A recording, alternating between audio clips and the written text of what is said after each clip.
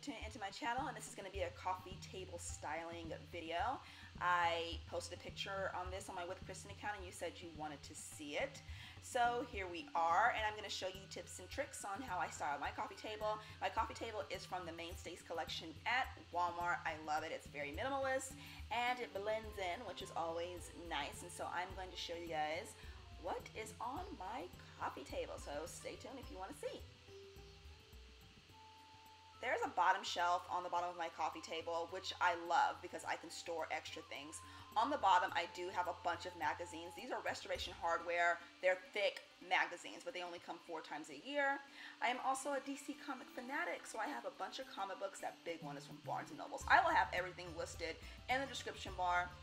And I have a bunch of magazines over here that I get in the mail just to put down here in case I want to look at a magazine while I'm sitting on the couch. But I love having this bottom shelf because you can use it for extra storage. You can use it like to store your remotes or put anything that you want to put that you don't want on the top of your coffee table on the bottom.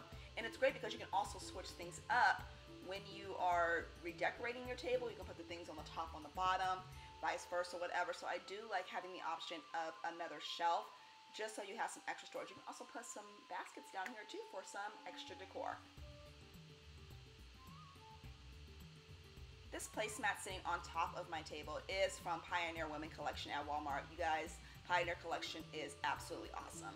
This is a double-sided one, so I can switch it up if I want to, but I really do love having this placemat on here, so if something gets messy, I can just wash this and don't have to worry about messing up the table. Since this is not real wood, but I really, really do love having this placemat on my table because it brings out the colors in the living room.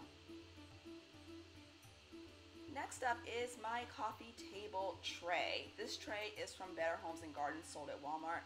I think a tray is absolutely mandatory when you have a coffee table because everything is contained. So if you need to clean it or move it out of the way, you can do that. My books are Marilyn in Fashion, Lauren Conrad Beauty, and Humans in New York.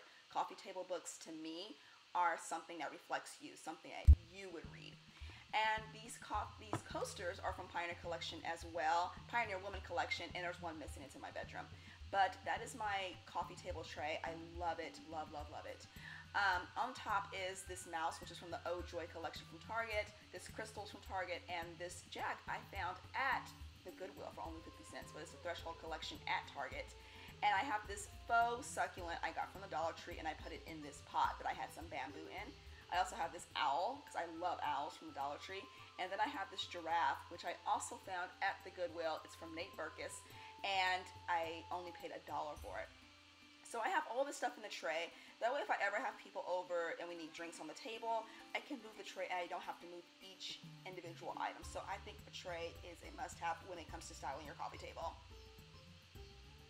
This is um, an overview of my coffee table and I love styling my coffee table. When it comes to styling your coffee table, it should reflect you and what you love. You're gonna find a lot of inspiration on Pinterest, Instagram, YouTube videos, but it should represent you and only you because you are the one that's there. So I hope this video did help you, and if you have any questions or comments, leave them down below. I love looking at coffee table styling videos and blogs.